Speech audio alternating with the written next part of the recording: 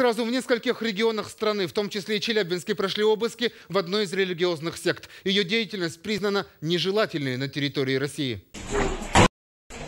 На пол, к стене.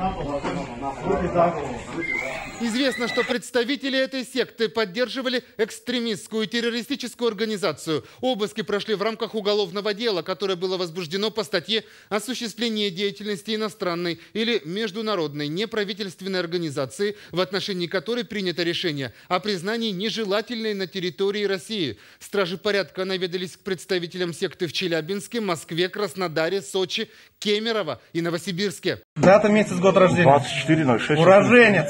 Русский.